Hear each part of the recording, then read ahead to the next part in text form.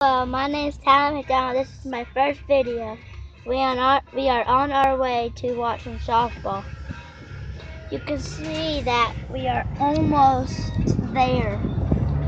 And there's a church people going for, the, for a funeral. So, sorry about if you can't hear me because we're because we're probably going 50 miles per hour. So, right now we are on our way, so we are going to be watching some softball. And no, my dad is not playing. He used to, but now he coaches me for the River City Moccasins for a 10U team. So I'm going to find some of my friends and see if they want to do some videos with me. So I'm going to see if I can. So this is my first video.